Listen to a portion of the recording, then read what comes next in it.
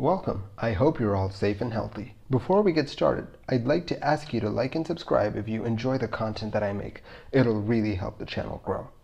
On the 16th of January 2017, a Turkish Airlines Boeing 747-400 freighter was flying from Hong Kong to Istanbul's Ataturk Airport with a stopover at Manas International Airport in Bishkek, Kyrgyzstan.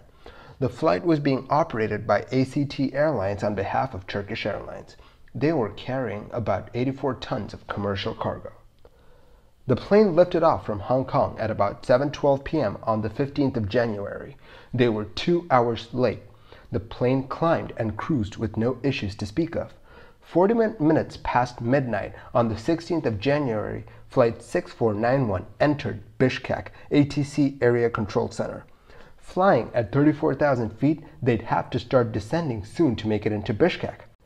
Soon afterward, the crew asked for clearance to descend, and after being cleared, they descended down to 22,000 feet. As they neared Bishkek, they checked in with ATC about the weather. ATC tells them that the RVR, or runway visual range, is 400 meters. RVR is the visibility at the threshold of the runway. This means that to someone standing at the edge of the runway, they'd be able to see 400 meters or 1300 feet down the runway. Not the best of situations but the pilots would be able to make do with the visibility.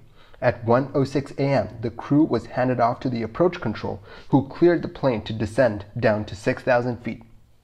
Approach control was going to try to set the plane up for an ILS approach onto runway 26. The approach controller then proceeded to give the crew weather for their approach. The wind was calm, visibility was 50 meters, RVR was 300 meters. With the weather deteriorating, the controller asked the crew if they wanted to continue the approach. The final decision in this situation was with the crew. They could abort the landing and go around if they felt like the weather was not conducive for a landing. The crew elected to continue the landing. The controller then gave them the landing clearance. Runway 26 was all theirs. The controller gave the crew another weather update as they continued their approach. Quote, wind calm, RVR in the beginning of the runway 400 meters, in the middle point 325 meters, and at the end of the runway 400 meters, and vertical visibility 160 feet. End quote. The plane descended through dense fog. An automated voice calls out 500, signaling that they were 500 feet above the terrain. The pilot in command says continue, signaling that he wanted the approach to continue. As they approached minimums, the first officer calls out approaching minimums.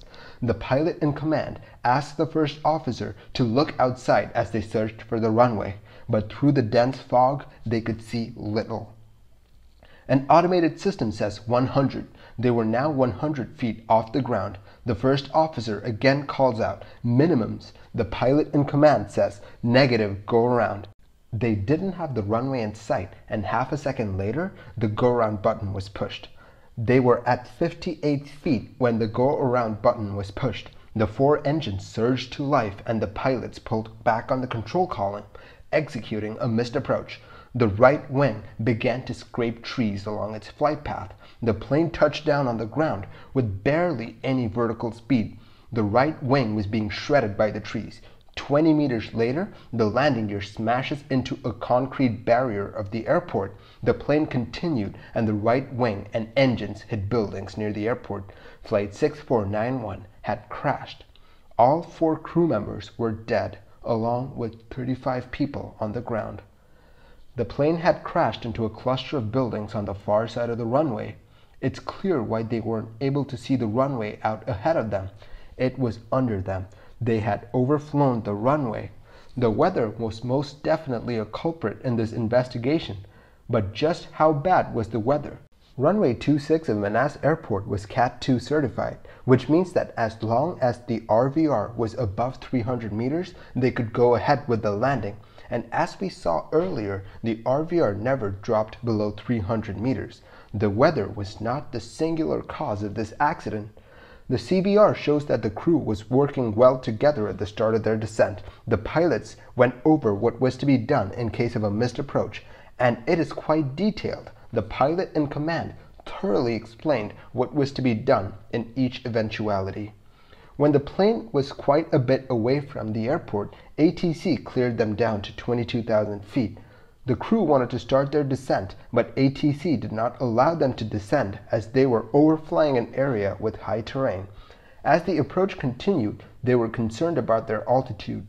At 1:03 a.m., the crew remarked, "We are starting to be a bit high." The crew repeatedly asked ATC for clearance to descend, and finally the controller allowed them to descend at the waypoint Raksat. They still had to maintain 18,000 feet due to high terrain in the area.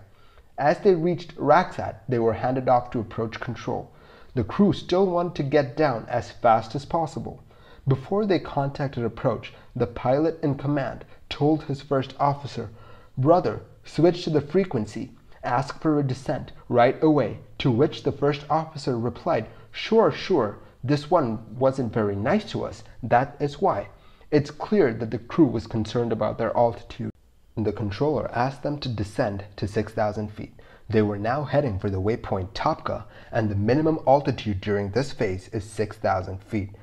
But the pilot in command was not pleased about this. He says, They left us high again. The distance between Raksat and Topka is about 27 nautical miles.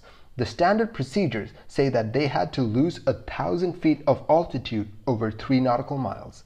So by the time that they reached Topka, they'd be at 9,000 feet and not 6,000. So the crew used speed brakes to expedite their descent. The pilot said, I will maintain high speed below 10,000 feet. I will correct it later, referring to their high rate of descent.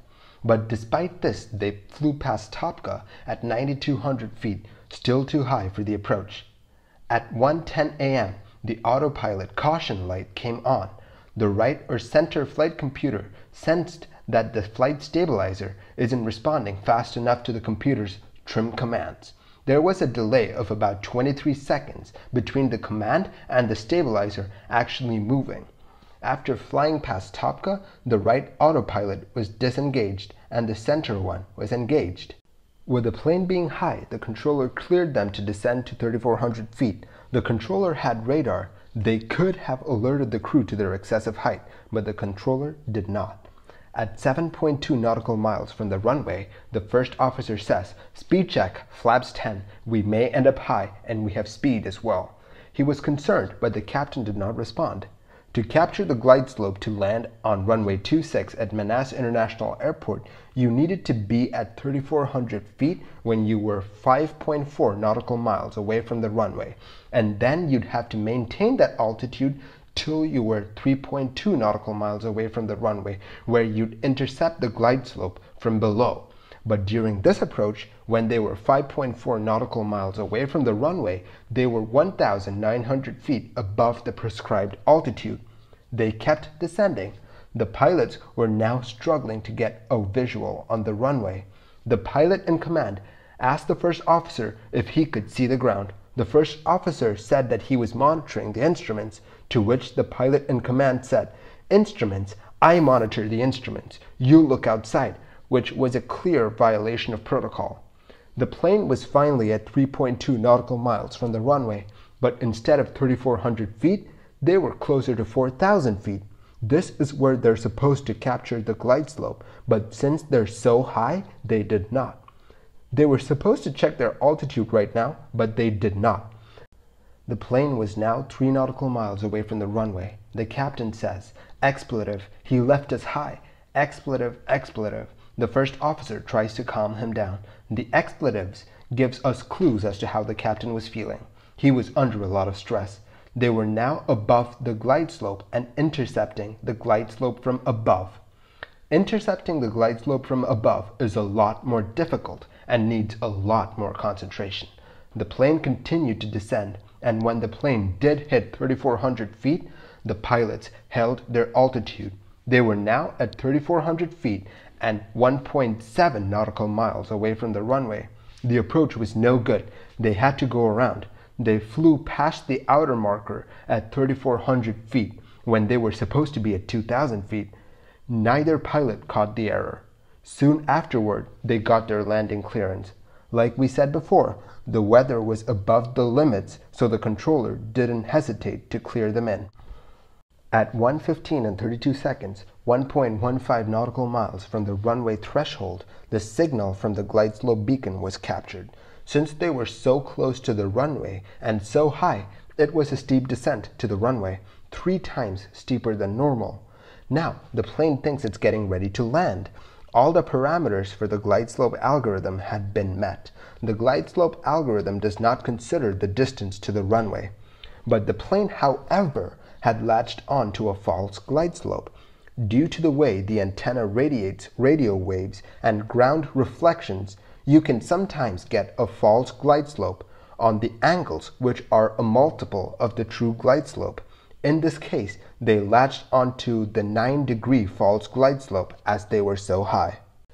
With the plane thinking that they're far away from the runway and with the false glide slope guiding them, the plane automatically started to bring the plane down as it would in any other ILS landing. The pilots were not monitoring their position or altitude. The call out Land 3 was made by the plane, letting the pilots know that the auto land system was in a triple redundant mode. The descent continued. The plane overflew the beacon, still high, still descending.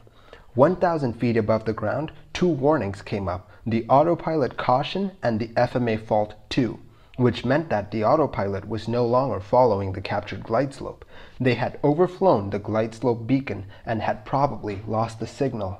As all of this happened, the first officer said nothing. He was supposed to be monitoring the instruments, but there was silence.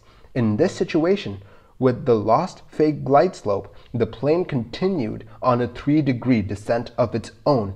This is known as an inertial path. The plane will continue this descent until the plane regains the glide slope or till the pilots intervene. The pilots switched over to land 2 mode, which has less redundancy than land 3. As in land 3, you have 3 computers, and in land 2, you have 2. Even now, no one is the least bit concerned about the position of the plane with respect to the runway. They hit 300 feet. The warning glide slope blares in the cockpit. It's trying to tell them that they're off the glide slope by a significant margin. They had deviated off the glide slope. They had talked about what to do if they deviated off the glide slope in their approach briefing, but they did nothing. They passed over the end of the runway at 110 feet, close to their minimums. They never heard an EGPWS warning as they were configured for landing. The EGPWS warning will not be triggered if the plane is configured for landing. However, there are two other warnings that are meant to alert the pilot if they are too close to the ground when the plane is configured for landing, but those are disabled if the plane is very close to the runway. They hit their minimums. The first officer did not have the runway in sight. How could he? It was below and behind them. The pilot in command hits the go around button. The plane stops descending, but it was too late. The plane had run out of space. They were too high throughout the approach. They never really addressed that. Then, coupled with the fake glide slope, they were lured away from the approach that they were meant to fly. When the plane lost the fake glide slope, it kept flying itself on a 3 degree glide slope, waiting to recapture the glide slope or for the pilots to intervene. With no one paying attention to the position of the plane, the plane just kept flying itself on that shallow 3 degree descent till it flew itself into the ground. Thank you for watching this episode of Mini Air Crash Investigation. A big thank you to Mylosairplanefan for letting me use his amazing videos on my video. If you like the videos that I make, do consider liking and subscribing. I'll catch you guys next time. Stay safe and healthy.